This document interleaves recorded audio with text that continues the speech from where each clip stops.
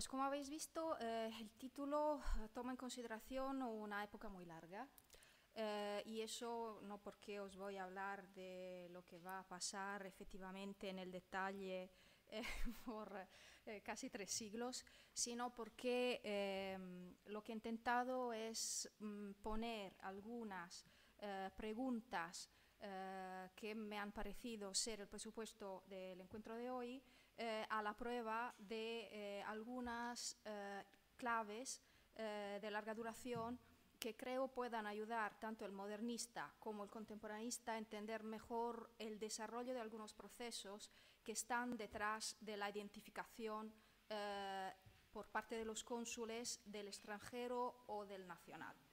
Eh, entonces, la idea ha sido de eh, buscar algunos eh, aspectos bastante significativos para ver cómo la institución consular se ha modificado por parte del cambio principal que ha habido en el siglo decimonónico, que es el cambio desde el ancien régime, el particularismo institucional del ancien régime, a una conformación del Estado y de la nación que ha progresivamente, pero muy rápidamente, absorbido eh, las facultades de análisis e identificación que el cónsul podía hacer. Entonces, eh, la idea ha sido de coger el macro tema de donde todos empezamos, que eh, es el, macro tema que Tamara Zoc ha contribuido a desarrollar, que es, por primer, en primer lugar, identificar el extranjero y el español. Entonces, el primer problema es entender quién es quién. El segundo problema es eh, cómo el Estado ha utilizado la institución consular para eh, promover un control creciente sobre la libertad de movilidad de las personas tanto de los propios ciudadanos al extranjero como de los extranjeros en el propio territorio. Es claro que la reflexión ha cambiado en medida en que ha cambiado la concepción que el Estado tenía, por un lado, de la institución consular como una institución propia, como una institución administrativa, ya no una representancia de naciones comerciales, cómo ha cambiado la idea de nación, entonces la percepción del propio territorio y sobre todo la manera de considerar sus confines eh, y la idea de controlar el movimiento dentro y fuera de los confines. Todos estos eh, temas eh, no tienen, por supuesto, solo la institución consular como principal objeto, sino también otros elementos que han, mm, en igual medida, contribuido a modificar la institución consular para responder mejor a los que eran las necesidades del Estado y de las naciones. Eh, estas necesidades que seguramente eh, son, eh, han sido influenciadas por los tratados bilaterales, por estados de, de, reciprocidad entre estados y también, muy importante, como se acaba de ver, las conjunturas históricas. O sea, no es lo mismo ver qué pasa en la época de la sucesión, de la guerra de sucesión española, en la época de la Revolución Francesa, en la época eh, gaditana o en la de la Primera Guerra Mundial. O sea, el contexto eh, en que se mueve el Estado en términos de relaciones internacionales es quizá más importante o igualmente importante la que son los cambios de dinámicas institucionales internas eh, y de del reporte específico, de la relación específica que se había entre el país España, en el caso específico, con las naciones eh, de, los otros, de los otros extranjeros. Entonces, eh, cogiendo todos estos elementos, eh, la, la, ponencia va a tratar específicamente sobre cómo esta necesidad de nueva clasificación ha modificado la situación consular, cómo eh, se ha tentado de recolectar las informaciones necesarias para identificar extranjeros y españoles al extranjero y qué garantizar al español al extranjero, o sea, qué tipo de servicio esta identificación tenía que eh, garantizar y la manera en que estos datos fueron, fueron utilizados. Porque eh, la razón por la cual un Estado podía pedir a sus cónsules al extranjero de clasificar los españoles al extranjero, como eh, iremos a ver enseguida, va a cambiar bastante, bastante em, rápidamente. Em, detrás de todo esto está también eh, toda la normativa, la reflexión española sobre los procesos de naturalización, porque el, concepto de español y extranjero tiene en el medio esta área gris que las de la naturalizados. Entonces, cómo se considera el extranjero el naturalizado eh, es importante también para, entender todo este proceso. Um, respecto a la época del siglo XVIII y principios del XIX, pues lo que se ve es cómo um, la institución consular cambia paralelamente a uh, la emergencia de nuevos conceptos, como son los del de, eh, Estado-Nación. Cambia la identidad del cónsul, o sea, uh, mucho esfuerzo por parte de, las instituciones eh, estatales es de garantizar que los propios cónsules al extranjero sean siempre nacionales de propio Estado. Entonces se pone como requisito, y también por la España este va a ser una cuestión muy delicada, como requisito que la nacionalidad del cónsul sea la del Estado que eh, le nombra. Empieza a ser cada vez más importante. En Francia empieza con la Revolución Francesa, o sea, es, francés si eres buen francés revolucionario. En España es un buen español si se eh, jura lealtad a la Constitución.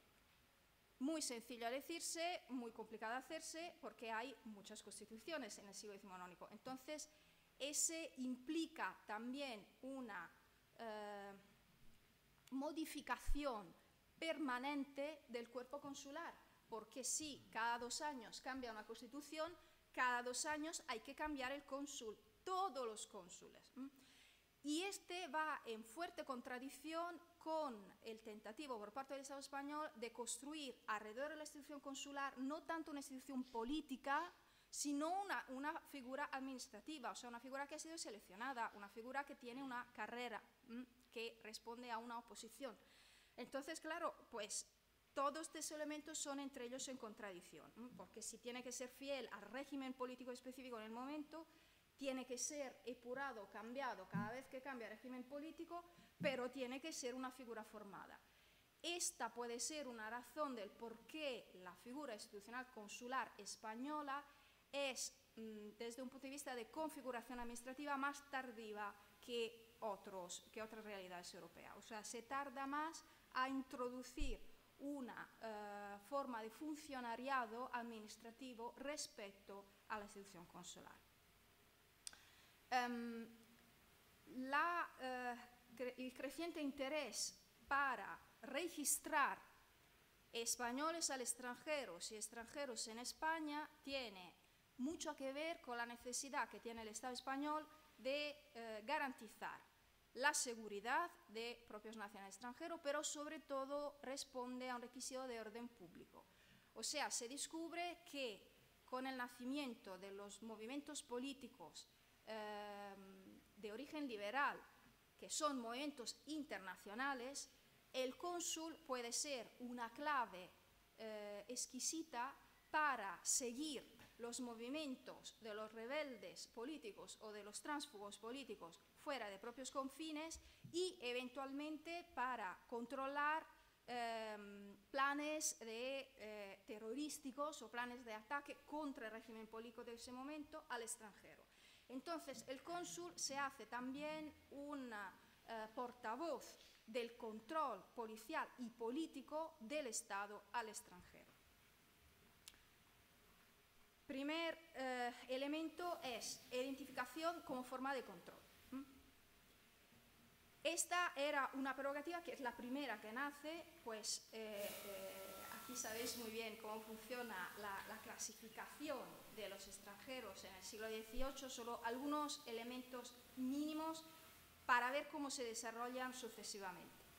Em, el primer registro, las primeras cédulas eh, de registración de los extranjeros en España nacen por razones fiscales, porque hay que saber quién tiene que pagar los impuestos, ese será un elemento permanente. y em, poco a poco se desarrolla en la segunda mitad del 18 también un sentido de utilización de estas cédulas por fines nacionales, como ya hemos visto. Em, la primera cédula es la de 1764, el organismo que es responsable de la em, gestión de todas estas prácticas es la Junta de Dependencia de Negocios Extranjeros. Veremos que es importante también entender cuál es el organismo del Estado que es responsable de la gestión de la permanencia de extranjeros en España y de los españoles al extranjero, porque ese eh, es una manera para leer la relevancia, el significado que el mismo Estado español da a este tipo de actividades. Eh, entonces, en esa época se empiezan con los registros de los residentes y los transeúntes, muy importante en esta fase distinguir todos los tipos de extranjeros y residentes y domiciliados y transeúntes, todo, cada uno responde a una eh, categorización distinta, eso lo sabemos bien. Vamos a ver cómo, cómo se modifica. Eh, y empiezan las primeras regulamentaciones de vistos de viaje, pasaportes. En esta fase, mm, las informaciones que los estados requieren para asegurar la movilidad de la población es el nombre del estado civil, la patria, la edad y la actividad económica que se puede importar, siempre con una visión, por supuesto, mercantilista de la utilidad que el extranjero puede tener en, la patria de eh, adopción. Eh, con la edad liberal ¿Qué cambia? Cambia, en primer lugar, no hay una autoridad que es legitimante y que es arbitraria del, nombramiento, de la autorización y de la legitimación del cónsul, que es el monarca, sino es el legislativo. Eso cambia completamente la manera de entender qué hace un cónsul español al extranjero. Eh, la, primera, la Carta de, Cádiz, desarrolla, este también es muy bien conocido, una doctrina muy eh, clara sobre quién es el ciudadano español y quién no lo es, cómo se pierde, cómo se readquiere y, sus categorías. Lo que es importante es que, por cuanto riguarda la disciplina consular, hasta los años 30 del siglo XIX se sigue utilizando las mismas prácticas particularistas que se utilizaban en el régimen. O sea, se puerta sí a las cortes, o sea, la corte que debaten en sede de pleno, a menudo en sesiones secretas, eh, problemas específicos relativos a la institución consular. No hay ningún tipo de legislación nacional que regulamente la institución. Es claro que el cónsul tiene una función pública, entonces sea el particularismo, las redes clientelares que eran tan determinantes, también para entender cuánto amplia eran las prerrogativas de cada cónsul, viene menos. La función es nacional. Em, y se empieza a decidir que la función consular es tanto importante para el desarrollo del Estado español, pero que tiene que ser materia de ley particular y no de ley constitucional. Este también es un debate muy interesante que se desarrolla entre los años 20 y 30 y llegará ah, hasta pasada la Primera Guerra Mundial, si, hay que eh, implicarlo menos en, el, debate parlamentario. Eh, algunas primeras, eh, primeras experimentaciones Ehm, que denotan cuánto todavía, después de la experiencia gaditana, respecto a la institución consular, el referente es la ancien régime, es esa ordenanza para el reglamento de los consulados de España al extranjero del 1820. Porque se afida al cónsul español al extranjero no solo el control de los españoles en, eh, fuera de, de su patria, sino también de los extranjeros que tienen que llegar en España. Entonces, el cónsul español es todavía un poco el control de frontera, tanto para la salida como para la entrada de extranjeros. Eh, los que son los, deberes eh, de los cónsules españoles son tres, proteger, promover el comercio e informar el gobierno. Estas son las tres actividades eh, sobre que se centra la atención de, em, de la nueva institución consular española decimonónica. O sea, la primera, mm, proteger los nacionales fuera de la patria, promover el comercio, el ánima comercial, que luego será determinante, pero también la ánima política, porque si se presume de informar el gobierno, esta naturaleza de la información es una información todavía de naturaleza política. se tiene ya eh, bien claro que no todos los extranjeros pueden ir a España. Lo de eh, dar los pasaportes gratuitamente a los españoles a pagamento a los extranjeros prevé ya que no tengan que pasar a España personas sospechosas o de mala vida. Entonces ya se tiene muy claro. Eh, para que los españoles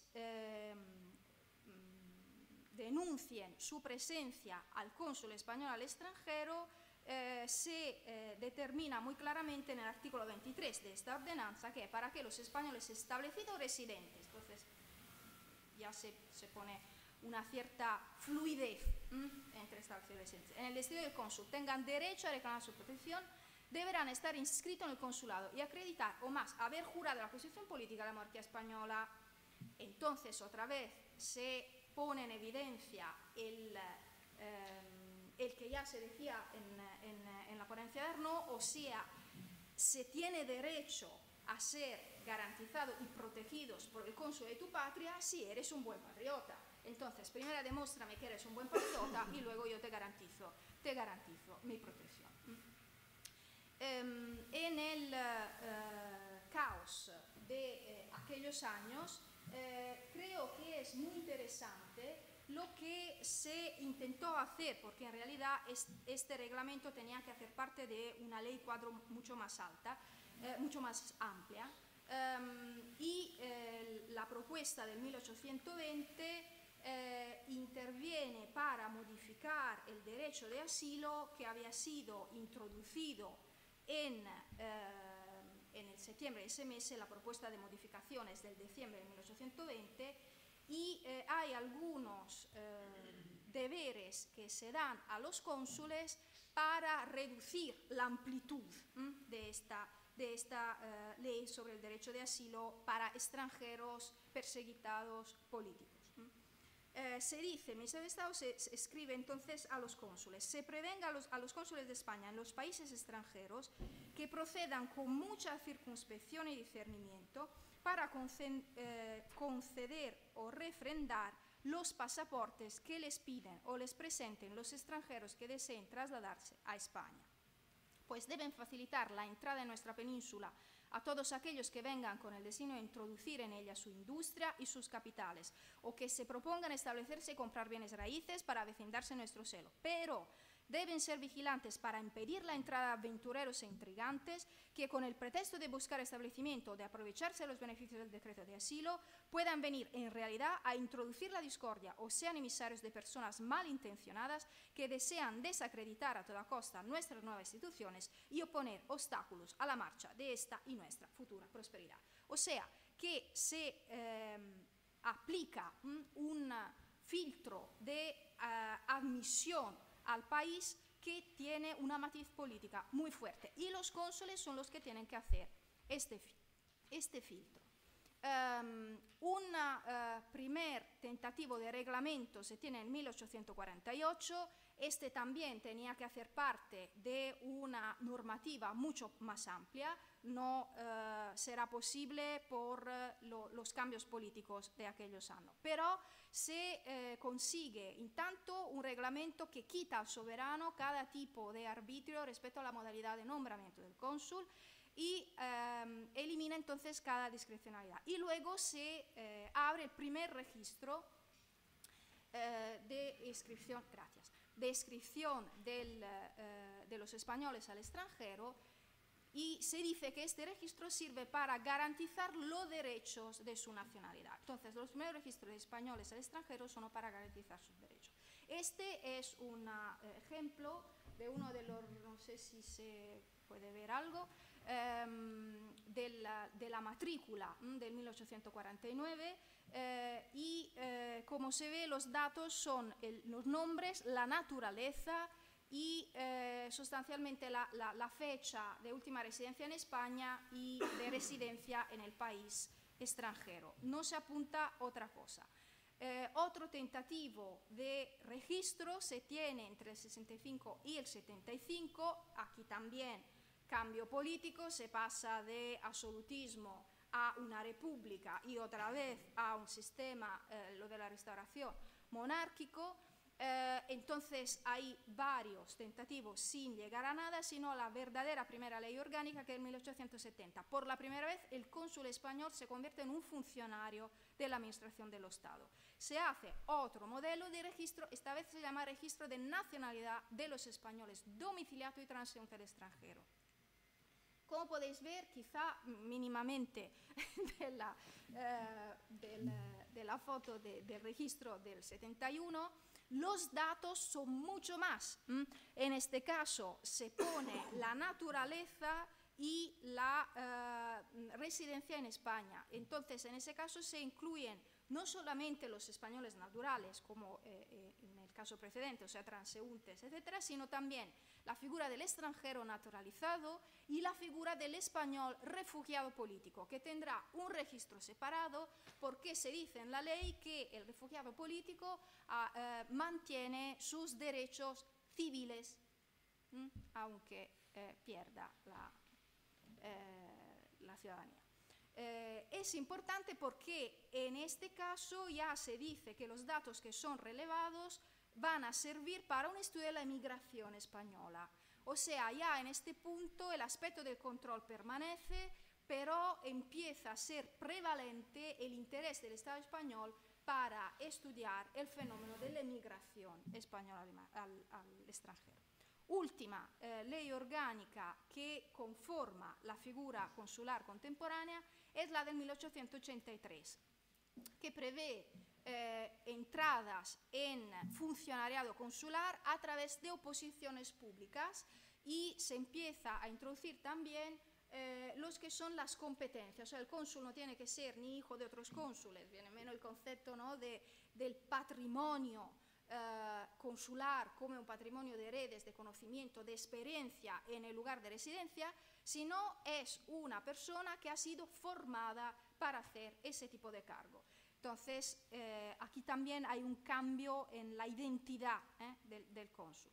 Se hacen nuevos registros en el 76, en el 77 y en 1880 es otro registro muy importante, se pasa un poco al peine toda que es la población española al extranjero.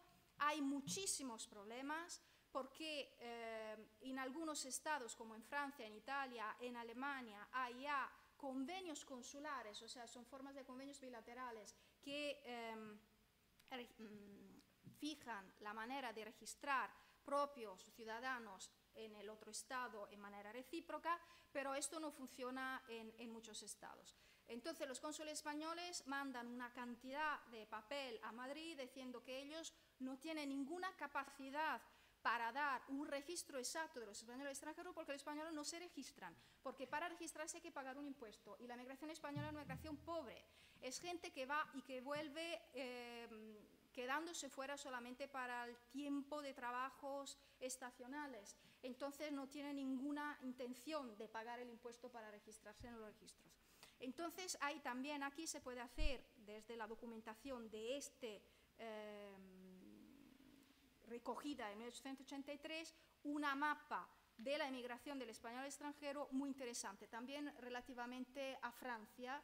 Por ejemplo, el caso de Orán, eh, el caso de Marsella, eh, dan una fotografía eh, muy interesante, pues si queréis en el debate lo, volvemos a hablar. Eh, último, ¿tengo un minuto? Em, último momento de cambio fundamental es el de la Primera Guerra Mundial, porque es un momento donde la figura consular pasa definitivamente del consulado de la edad moderna al consulado contemporáneo que conocemos nosotros. ¿Qué pasa en España? España, como sabéis, no entra en la guerra, pero eh, es golpeada para la olada de las consecuencias. Entonces, la primera cosa es repetir todo lo que se había visto hasta en la época de la Guerra de Sucesión Española, pero eh, con faceta contemporánea. O sea, se eh, bloquean todas las peticiones de naturalización de los extranjeros, todo, no solo de los países beligerantes, sino cualquiera no sea español, no se puede naturalizar. Se cierra el eh, confine con Portugal, porque los portugueses que tenían obligación de eh, entrar en guerra, lo que hacían era naturalizarse inmediatamente españoles para huir del deber militar. eh, se eh, mm, obligan los eh, cónsules españoles del extranjero de registrar todos los españoles que son allí y de ayudarlos al volver cuanto antes en la patria, intentando, como se hacía en el 18, que estos españoles no sean reclutados por el ejército militar de los varios estados extranjeros con el engaño, cosa que pasa a menudo, tienen un accidente diplomático con Estados Unidos impresionante por esta razón. Y eh, al final saldrá el decreto de octubre de 1918 eh, con el cual se implementa la institución consular para crear una nueva institución para promover, sobre todo en Latinoamérica, la presencia española después de la guerra. Entonces, con eso se eh, concluye en alguna medida el, eh, proceso evolutivo de la consular, manteniendo el alma mm, original y modificando según las necesidades lo que eran los focos que eh, desde el final del 18 se habían ya puesto en luz respecto al tratamiento de españoles extranjeros, extranjeros en la nación. Gracias. Perdón.